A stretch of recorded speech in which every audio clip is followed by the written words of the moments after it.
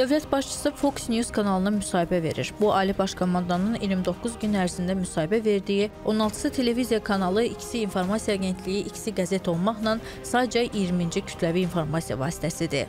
Qardaş ölkə yanımızda olduğunu yenidən tribunalardan hiss etdirir. Kəskin ifadələr seçən Türkiyə lideri qələbəmizə xor baxanların gözünü oyur. İki devlet, bir millet olduğumuz Azerbaycan'ın işgal altındaki topraklarını özgürleştirme mücadelesine her türlü desteği vermeye devam edeceğiz.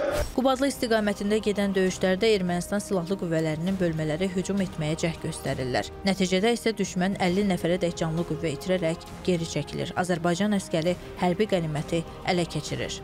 Düşmən tərəfi yazır ki, Avetaranots kəndi ətrafında şiddətli döyüşlər gedir. Ermənicə ad verdikləri bu kənd Xocalının Çanaqçı kəndidir. Həsrətli olan azərbaycanlıların ürək döyüntüləri bu xəbərlə daha da sürətlənir.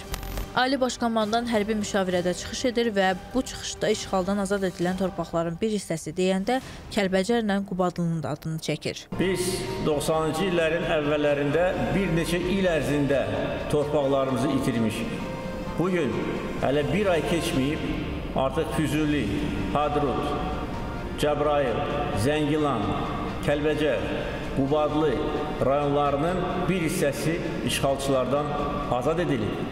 Dünyanın dörd bir yanında həmvətənlilərimiz ordumuza dəstək aksiyaları keçirir. Bütün dünya üç rəngli bayrağa bürünüb növbəti qələbə xəbərlərinin intizarındadır. Və budur, Azərbaycan ordusu Zəngilan, Cəbrayıl, Qubadlının bir neçə kəndini və Qubadlı şəhərini işğaldan azad etdi. 27 illik həsrətin sonuna daha bir böyük addım. Hal-hazırda Qubadlı şəhərində Azərbaycan Respublikasının dövlət bayrağı dalğalanır.